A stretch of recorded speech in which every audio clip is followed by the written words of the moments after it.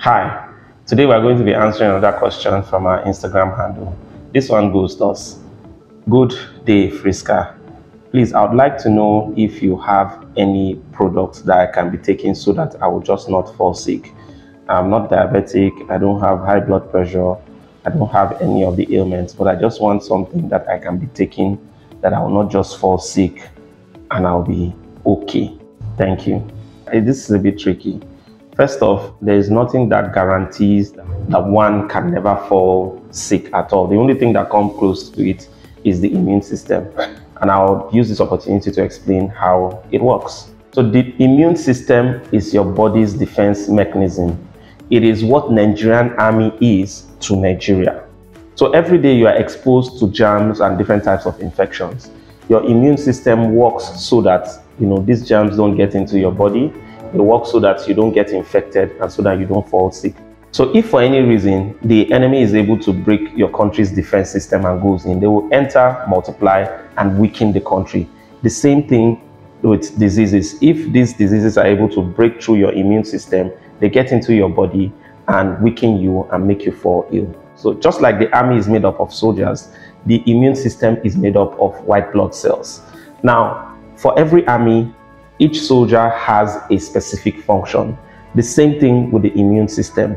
There are the phagocytes. These are like your typical infantry in every army. They face the enemy, in this case antigens, they face them head on and they either consume or they are consumed. Then there are the lymphocytes. I call them the advanced party or scouts. They search the body for infection once they get the signal that there's infection in the particular point, they move in and work towards destroying them. Then you have another set, the phagocytes. These are like your armor and artillery corps in the typical military.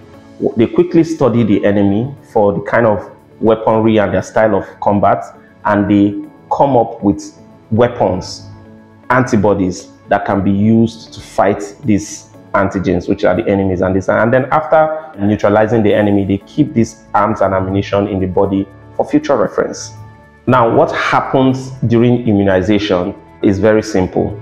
It's a case of taking a known enemy that has been weakened, bringing it to your military and allowing the phagocytes to study it and understand the kind of weaponry that it's using so that they can create the arms and ammunition so that when that enemy comes in the future, they are better prepared for fighting that enemy. That is why it is advisable to get immunized for as many diseases as possible. Just as the strength of any country is in the size of its army, the strength of your health also lies in the strength of your immune system. My advice is you take deliberate steps to ensure that your immune system is top notch and you constantly take, do things that will boost your immune system. And you can do this by taking any of our Friska herbal teas because they're all rich in antioxidants. But if you want to be specific to your immune system, then you should take either the wellness tea or the cinnamon and hibiscus tea because these were designed specifically for boosting the immune system. I hope this helps. Thank you.